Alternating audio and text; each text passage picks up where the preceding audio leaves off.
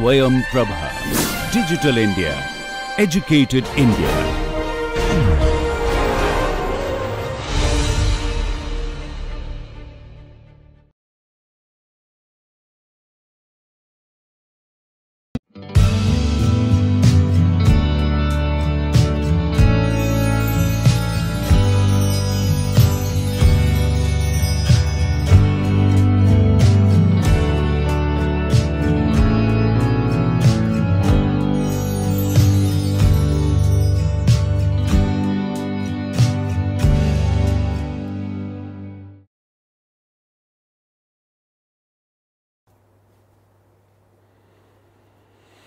Hello and welcome friends to this lecture on Vinayak Damodar Savarkar and from Savarkar we are going to study his views on Hinduism and Hindutva. Hinduism and Hindutva and his views on Hinduism and critique to Savarkar's views on Hinduism and Hindutva we are going to do in the next lecture. In this lecture we will study basically his personal life, uh, Savarkar as a revolutionary, as a patriot or as a political thinker of um, uh, Hindu nationalism and uh, the different shades and different shifts in his personal intellectual life. This uh, we will do through looking at some of the key ideas or key uh, thinking in his uh, thought, influence on his thought and basically his views on nation, Indian ancient Indian past or Hindu past and also his views on social uh, social change or social reforms. So, in this lecture we are going to basically discuss his personal political life as well as his in intellectual engagement with some of these themes. Now, uh, before we also need to um, seriously reconsider some of the appropriation, misappropriation and also outright rejection that is being done in contemporary political discourse in India where some text, some thinker, some idea is either celebrated or completely rejected and there is a kind of rigidity in support and in rejection of some ideas, some thinkers, some text. But when Savarkar was writing, so there is a lot of fluidity or flexibilities of uh, dialogue and discussion even when there is a uh, there is a unbreachable differences between two thinkers or two opinions on any issue. So, one of the example that comes to mind is Gandhi or Savarkar or Netaji Subhash Chandra Bose or Savarkar.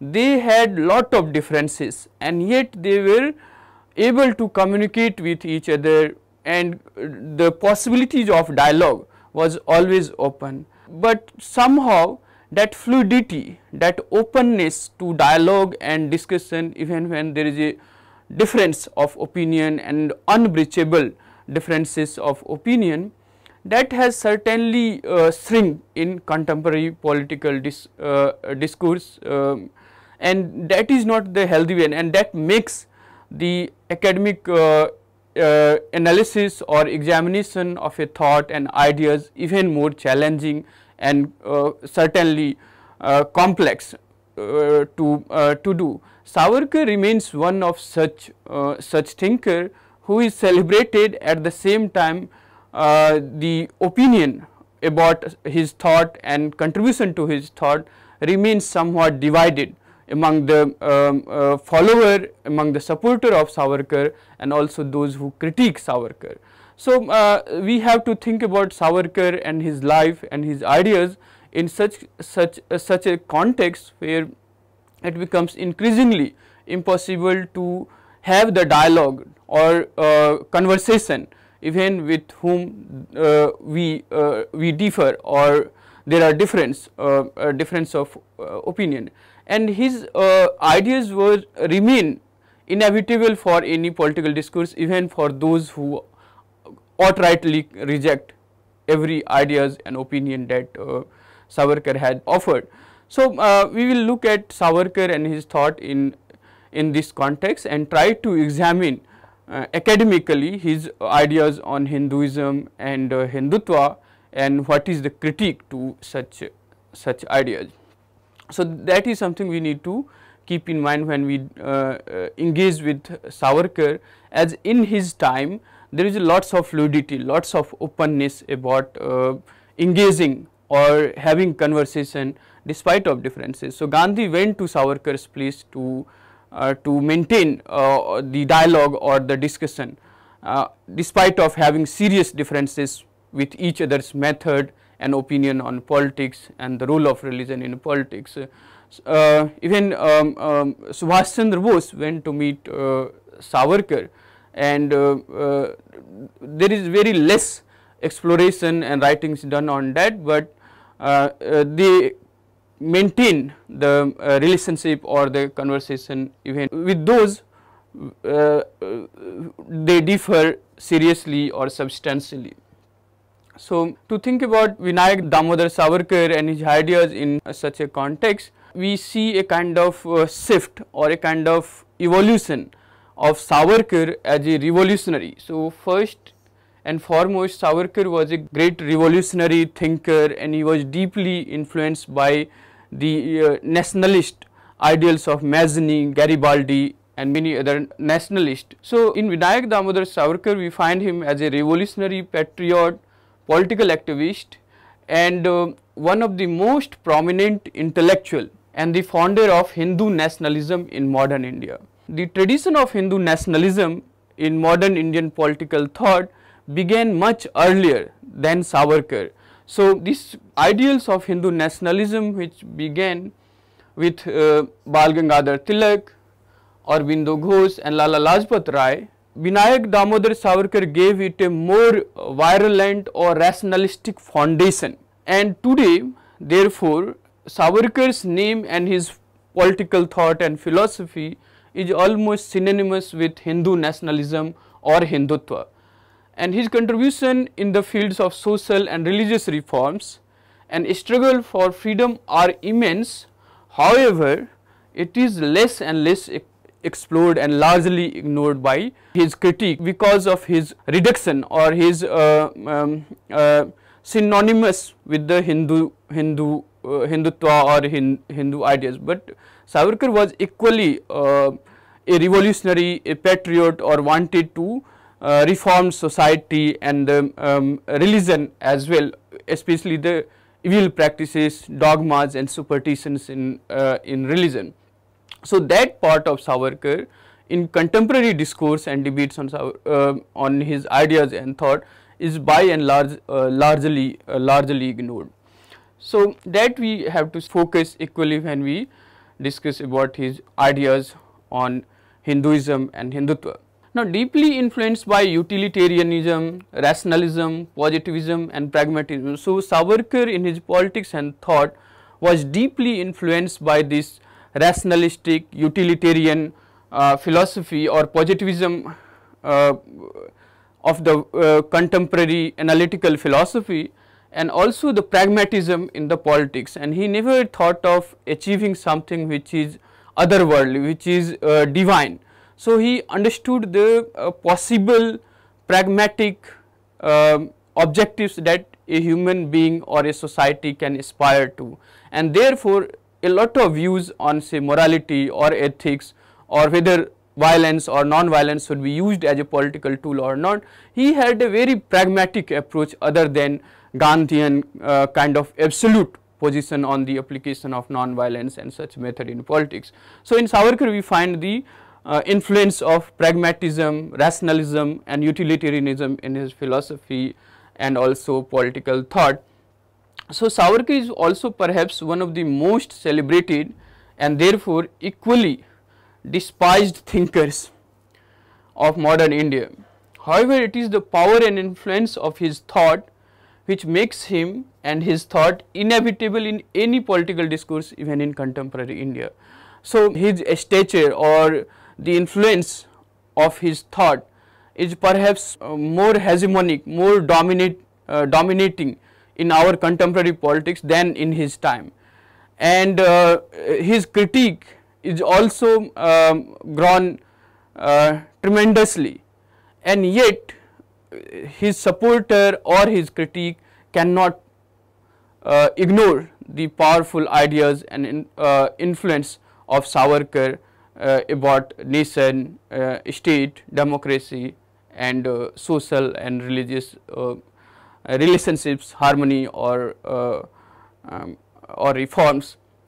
So, Savarkar remains inevitable in the political discourse even in contemporary times even by those who despise Savarkar and that is the power, the influence of his thought and his ideas uh, on Indian politics or imagination of nation. Being situated in the larger framework of Hindu nationalism, Savarkar can be seen in response to two distinct historical trajectories unfolding in colonial India. The first was he belongs to the radical and revolutionary strands of middle class Indians who rose in reaction to the limitation or ineffectiveness of the moderates. So, first stands as it was unfolding during the colonial era was the growing feeling against the effectiveness of moderate leaders of the Congress. So, Savarkar belonged to such group of radicals and revolutionaries who developed a critique of uh, moderates and their method of politics. And second, which was related to the colonial policy of divide and rule. So, as a result of divide and rule policy of the British, they developed an environment of social tensions between different communities in India such as Hindu and Muslims on the one hand, Hindu and depressed classes on the other, Hindus and Sikhs on the another and Hindus and Jains on the other. So, there are growing tension and estrangement among and between different communities in India. Savarkar was responding to such growing um, estrangement or tensions among the communities and trying to consolidate Hindu community for from further fragmentation or as a result of this um, divide and rule policy of the colonial government. In Savarkar's opinion, it also had a dangerous influence on the body politic of anti-colonial freedom struggle in India and provided the psychological and material background for future communal politics. So, these politics of divide and rule as conceptualized and practiced by the British uh, rule provided the psychological and material background for the emergence of communal politics in India and Savarkar was um, uh, very um, concerned about the fragmentation of the Hindu communities not just on religious land, but also on caste land or any uh, or linguistic lines or regional lines etc. So, Savarkar was trying to consolidate Hindu community and nationalize their history, politics and glorious past in all walks of Indian life. So, he was trying to conceptualize a nation or a Hindu nation in such a way which nationalizes the uh, politics, past and um, uh, glorious history of um, ancient Hindus, uh, Hindu civilization and he was trying to uh, uh, limit the consequences or the e evil consequences of these divide and rule policies of the British.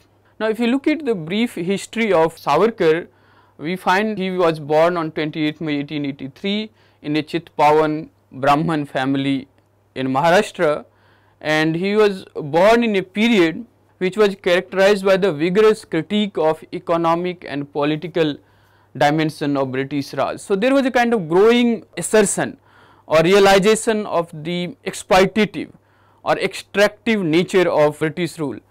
So, Savarkar was uh, uh, uh, developing his critique to uh, British rule on the one hand and consolidating the uh, Hindu uh, community on the other by rewriting their hist history, their past and preventing it from further fragmentation.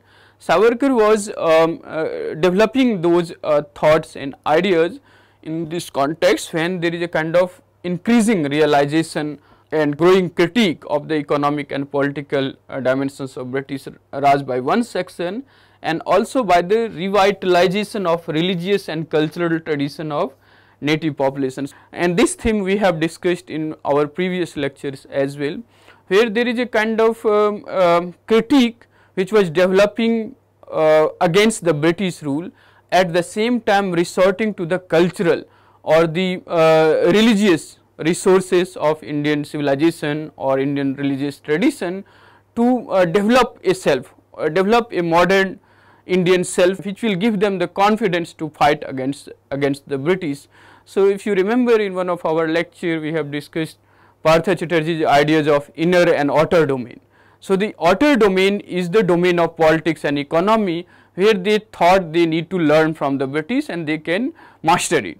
In the inner domain that is the domain of religion or spirituality they consider themselves superior and nothing to learn with the uh, uh, learn with the Brit, uh, British.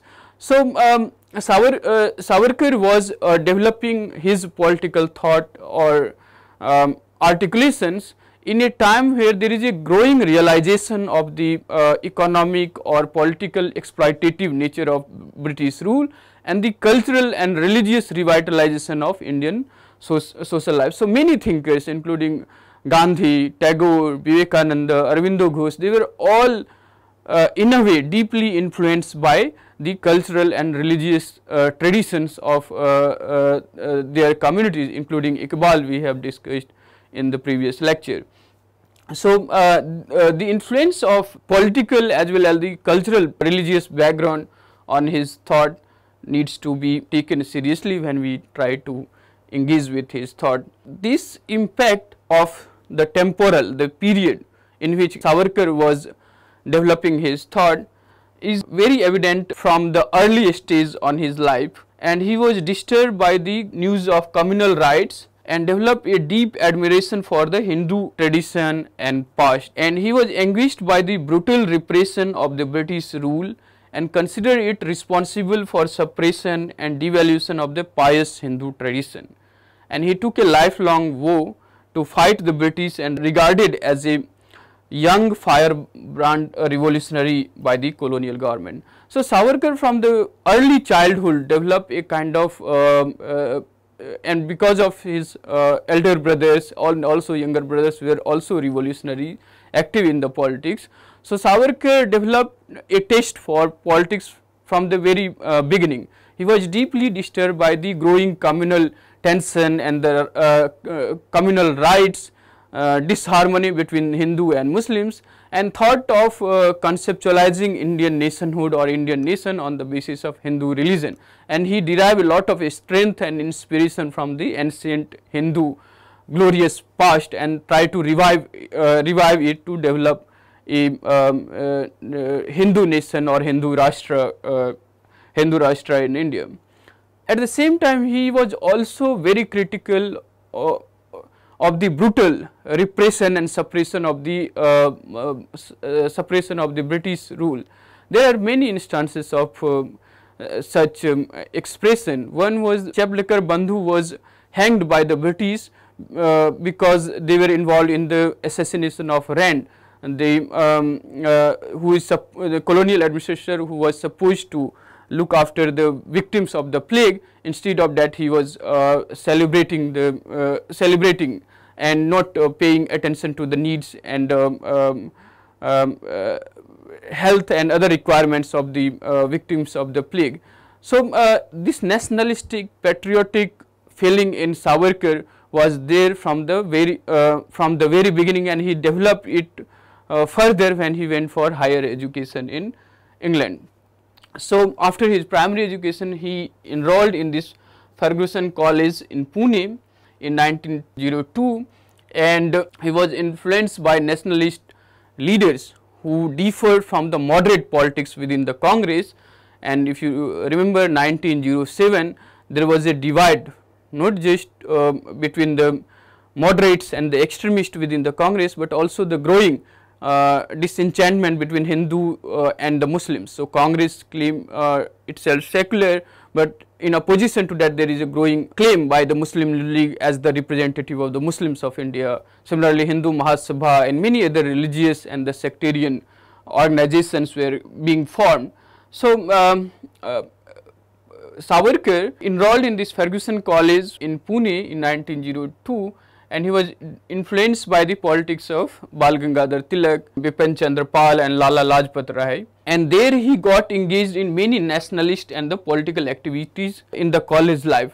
Although the college forbid any kind of political activities or anti-government uh, protest and demonstration, uh, Savarkar continued to organize the youth um, involved in the protest, organize the demonstration and also um, invited uh, uh, Tilak which greatly infuriated many administrators and as well as the teachers in the uh, in the college. Uh, he organized there a patriotic society called Abhinav Bharat which he continued to do and organize and reorganize uh, even in uh, in England. So, this Abhinav Bharat he organized in the college among the friends and through the medium of literary works began to revisit India's glorious past and he was the one who recognized the role of such literature in the production of future revolution in India.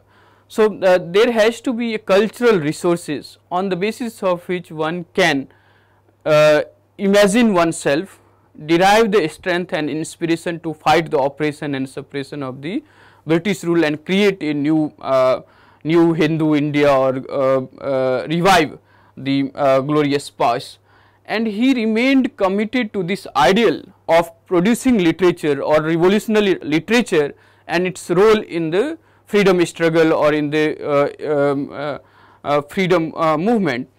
So, this production of literature despite of his political activities has shift from a revolutionary patriotic to a um, founding uh, father of the imagination of Hindu Rashtra or Hindutva uh, till the end of his life he continued to uh, write um, uh, literatures and through that try to revive and articulate his thoughts on Hinduism and Hindu, uh, Hindutva.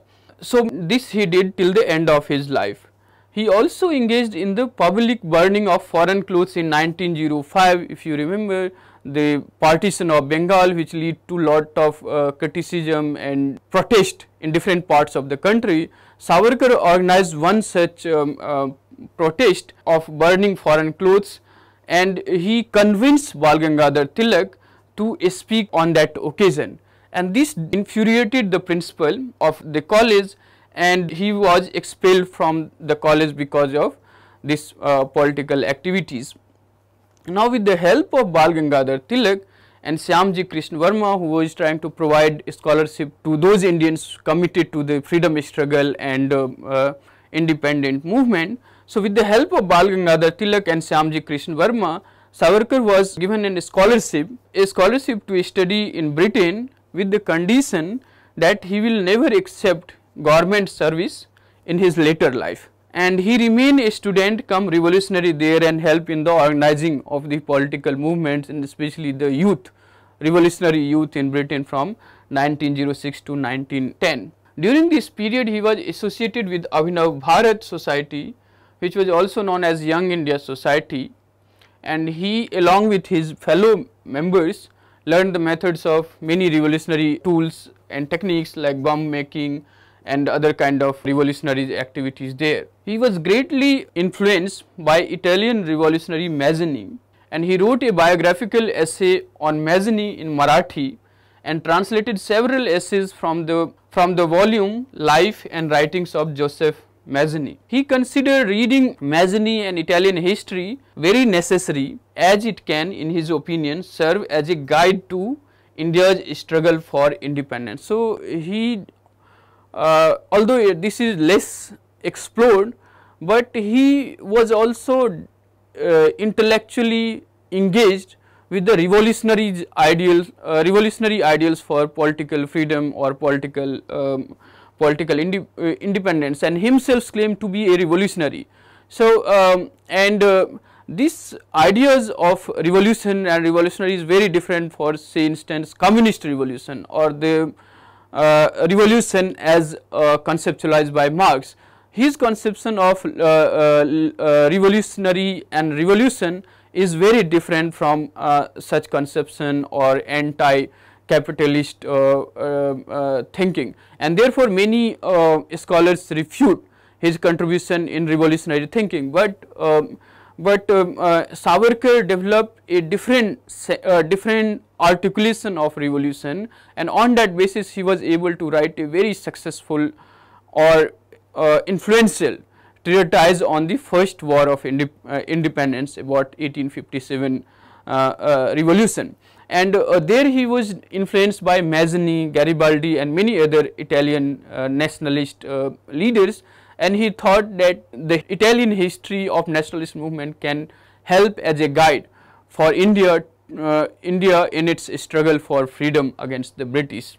There he also wrote this text called the Indian War of Independence which is published in 1909. This is the same year when Gandhi published his famous treatise Hindu Swaraj and it is also interesting to note that Gandhi met Savarkar for the first time in England and then after a long time when Savarkar returned from Andaman to Maharashtra uh, Gandhi again uh, developed a conversation and personally visited his home to discuss about different methods and tools of, uh, of uh, freedom struggle. So, uh, despite of their serious differences that uh, openness to have a conversation, to um, dialogue is something that is uh, missing in our contemporary discourse on these thinkers and their ideals, um, uh, which was uh, there when they were articulating and expressing their differences. Now, in this text on the Indian War of Independence,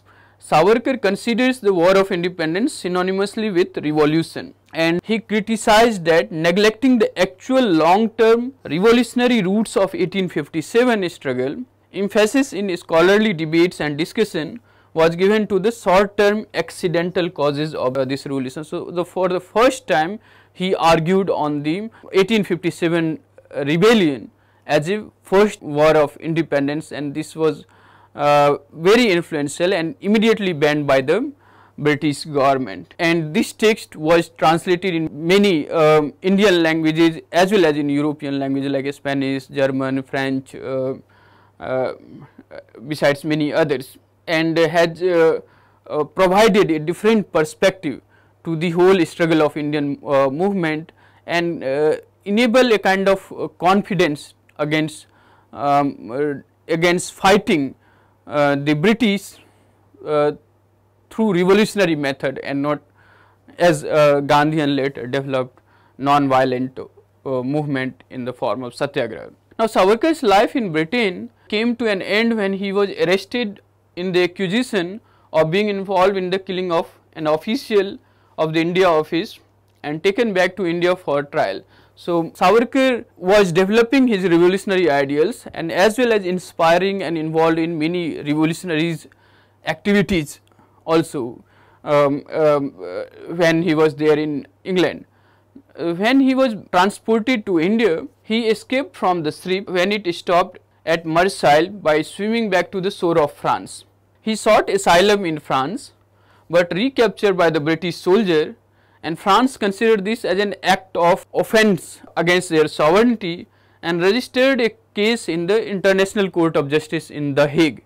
The court gave the judgment in favor of Britain and this created a political turmoil in France. So, one can very easily imagine the stature of Vinayak Damodar Savarkar uh, uh, by 1910 or uh, 1909 uh, and uh, it gave him in his instant access to the not just Indian popular uh, movement and leaders, but also um, in um, in the world. And there was divided opinion on the Savarkar and his method of politics and his involvement in the uh, revolutionary movement and this happens with a number of nationalist movement.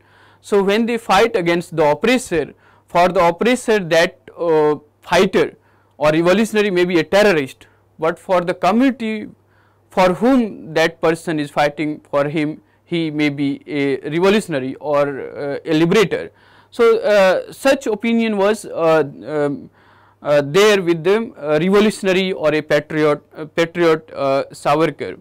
Now, in India when he was brought back he was given the 50 years of imprisonment. This is the double life imprisonment and that is to in a cellular jail of Andaman, infamous cellular jail in Andaman and this jail was known for which is also known as Kalapani. So, this is the severest kind of punishment a revolutionary or a uh, political activist can uh, imagine. And he was given 50 years of So one can very well imagine the revolutionary zeal in Savarkar uh, thought and his political activities and why uh, British consider him as the young firebrand uh, revolutionary. And he they wrote confidential note to the um, uh, British official when he went to England for studying uh, law. So, he was sent to cellular jail in the Andaman and this was known for the cruelest environment and higher rate of suicide because many of them could not withstand the harsh treatment of the uh, jailers and also the um, environment uh, in Andaman. So, they a large number of them committed suicide. Now, the after the harsh treatment and solitary confinements for 10 years, there have been serious attempts for the release of Savarkar and many nationalist leaders including Gandhi were involved in putting efforts for the release of Savarkar. So, despite of their political differences, their differences in terms of method or imagination of modern India, uh, they regarded, they developed a mutual uh, respect for each other's contribution in the freedom struggle in the uh, in the movement. It is very unlikely to uh, to happen in the contemporary times where there is a kind of uh, clear cut separation and less and less dialogue and um, uh, conversation and mutual acceptance even when maintaining the uh, differences. So, uh, Gandhi and Savarkar differ from each other seriously, substantially and yet recognize each other's contribution in the uh, uh, in the freedom struggle. So, for his uh, release many nationalist leaders were putting efforts including the Gandhi and Savarkar also wrote a mercy petition twice I believe mercy petition to the British. And this petition was heard and was and he was transferred to the western India in Yerwada and in Ratnagiri jails. And uh, there was the condition put on him that he will not involve in any political activities and will not move out of his uh, uh, district without the prior permission of the authorities. So, and finally he was released in 1924 from the jail and till 1937 his movement was restricted and he was barred from taking any part in political activities including the national movement. Now, in this period when he was brought back to India, he wrote a text called Essentials of Hindutva. This becomes the basis of his political thought and later his conceptualization about Hindu Rashtra or Hindutva and how it is different from Hinduism and this we will discuss in the next class. And this text he wrote the, with the pen name A. Maratha to conceal his identity from the constant surveillance of the colonial regime. In this book he described his philosophy of Hindu nation and how is it different from the religious notion of Hinduism. This we can will discuss in our next lecture. Savarkar also wrote his biography which is called Life of Barrister Savarkar. This he wrote in 1926 under the pen name Chitragupta. Now this text which basically deals with his uh, revolutionary life and uh, uh, Savarkar as a revolutionary patriot, uh, patriot thinker, this text get immediately banned by the government and it remained so till India attained independence. It primarily focused on his revolutionary career, but the fact that the actual writer was Savarkar himself. So, somebody writes his own uh, life and about his own life that is called autobiography. But Savarkar wrote a biography which is a third person writing about someone else that is biography. But Savarkar interestingly wrote his own biography and not the autobiography which later he wrote as a memoir. So the point however is in this text again Savarkar seriously contemplate about uh, revolutionary and revolution and revolutionary tactics and which uh, method of revolution will be more suitable and appropriate uh, uh, in Indian context. This fact that Savarkar wrote his own biography came to light in 87 much after his death in 1966. Now, after his release from jail, Savarkar joined uh, for a brief moment the Democratic Swaraj Party and soon withdraw from it as it he realized the ineffectiveness or inconsequentiality of the party.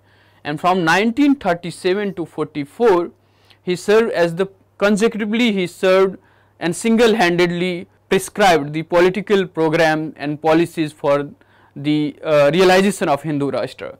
So, uh, from 1937 to 1944 he served as the president of All India Hindu Mahasabha and using his own revolutionary ideas, he sought to give it a radical turn. So, from then on uh, Hindu Mahasabha began to play a more active, more dynamic and radical uh, role in Indian politics.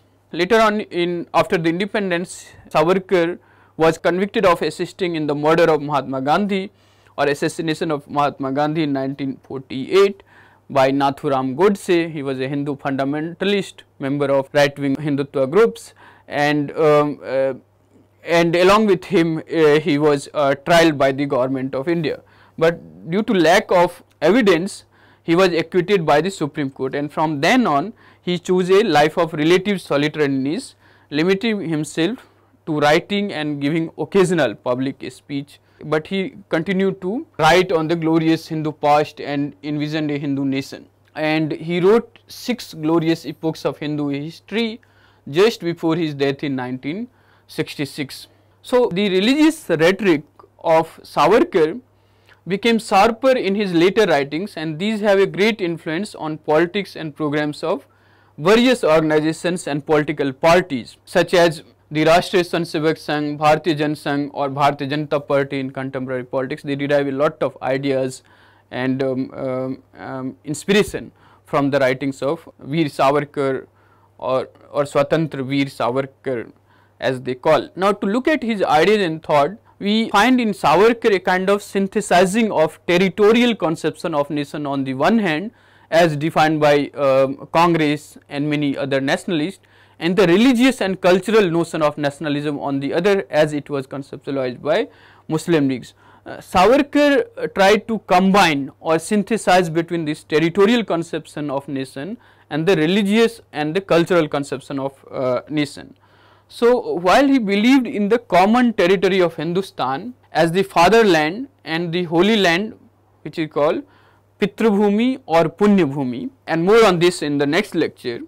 He also stated that Hinduism not a single religion but an integration of all religious creeds which includes Buddhism, Jainism therefore, natives to the land of Hindustan which is also called Hindustan, Sindhu that is the name of the river and on that the name came uh, Hindustan. S is pronounced as H in uh, Persian and therefore those who are living in that land depending upon their different uh, religions and uh, linguistic and other differences they are all Hindus. So his definition of Hindu is very different from a religious and uh, uh, a kind of narrow uh, fundamentalist conception of Hindu and uh, Hinduism.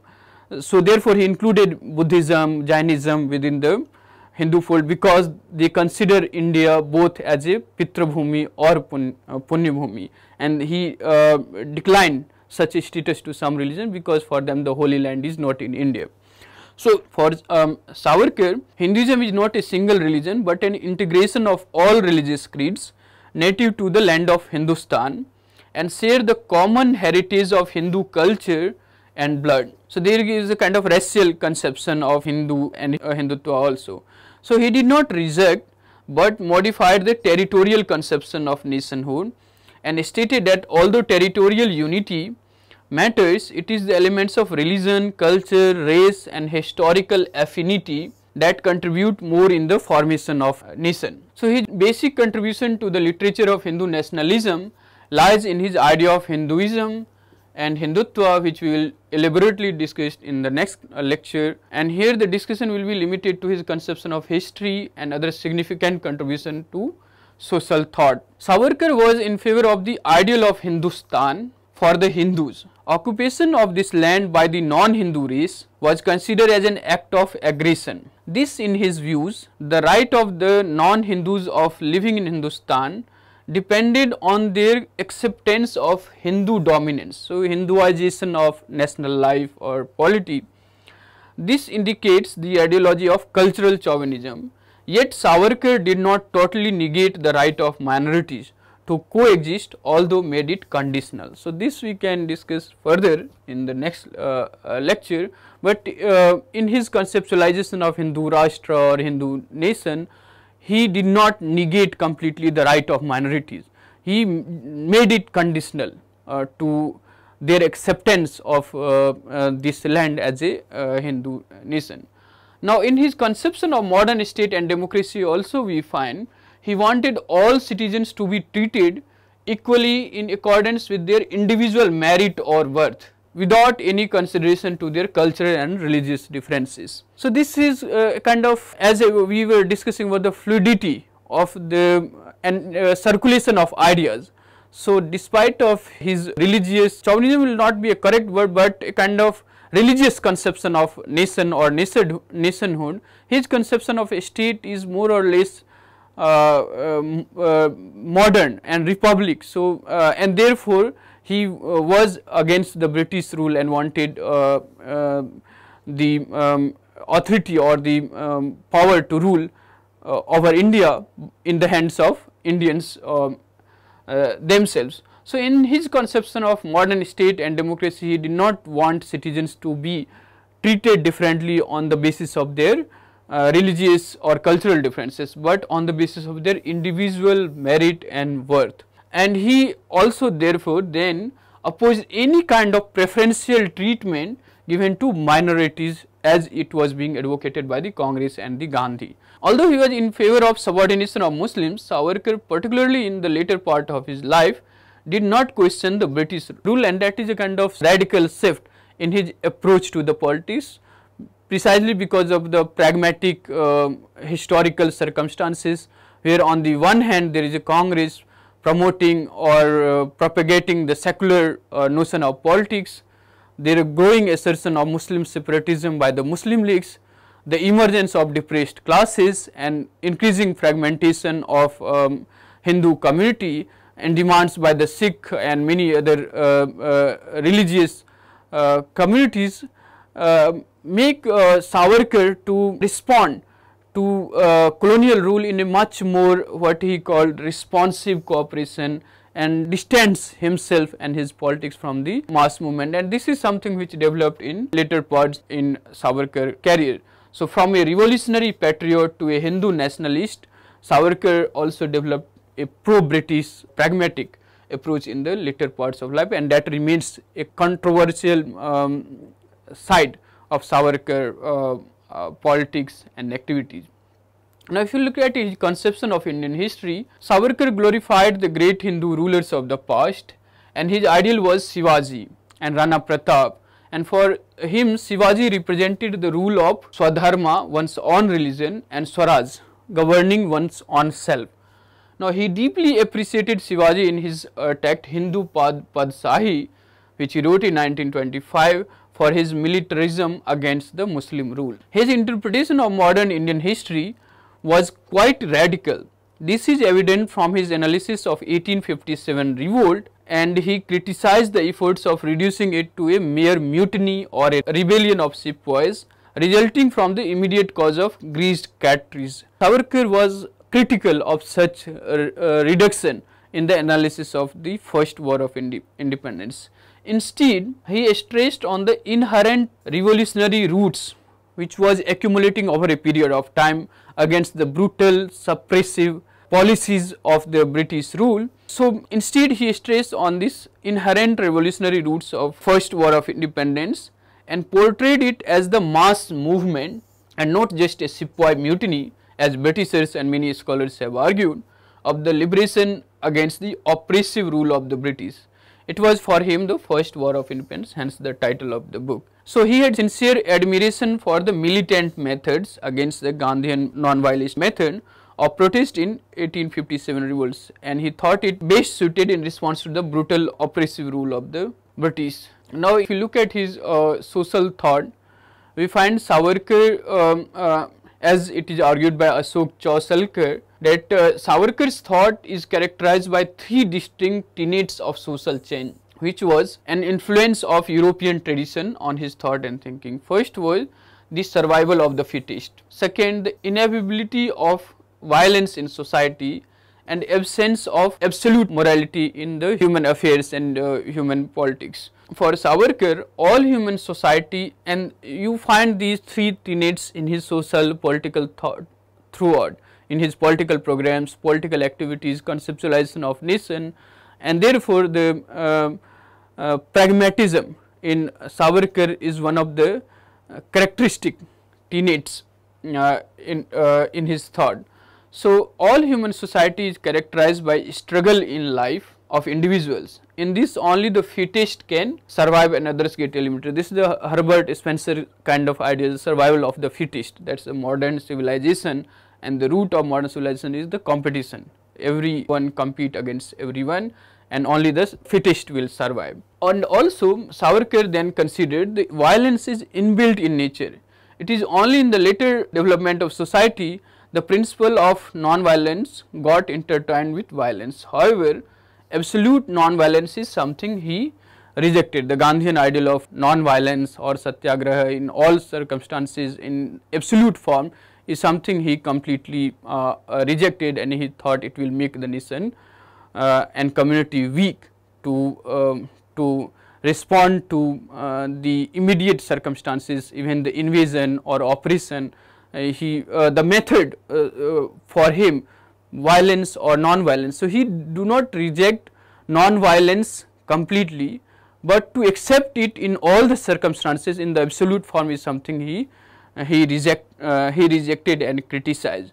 He believed in the relative morality that is morality or immorality of an act political act or policy is judged in accordance with the specificities of the action and objective. So, the means and ends that we have discussed in Gandhian um, uh, Gandhian model is uh, given different interpretation in Savarkar's uh, thought uh, that is more pragmatic and that uh, that um, depends on the objectives one uh, and through one's act one want to achieve in the larger uh, larger politics of their community.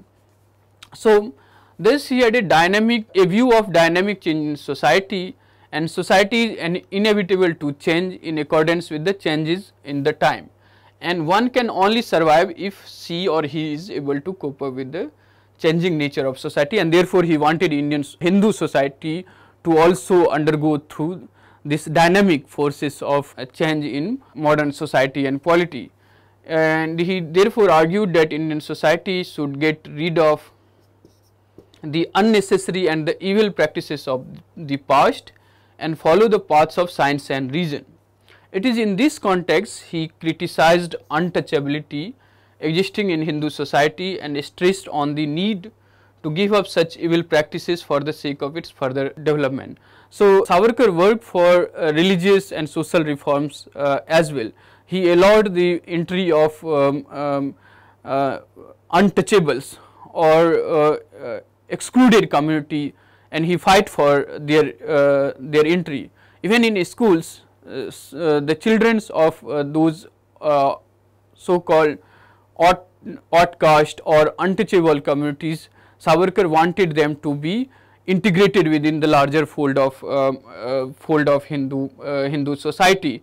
And um, similarly with the uh, women and also Savarkar wanted to reform Hindu society in line with the modern science and reason and criticize a lot of dogmas and superstitions that accumulated in the long stagnation period of Hindu society and he wanted to reform it, reconstruct it in the line of modern science and reason. Now, in the similar line he had nurtured a critical perspective of dealing with the ancient religious scriptures and advised following it only if it is able to deal with the changing need of the So, he is also not someone uh, blindly following the ancient Indian scriptures. He wanted um, um, such text to be read, to be engaged with, but it should be followed which enables the individual and community to uh, uh, to respond to the uh, contemporary needs or the changing needs of the time.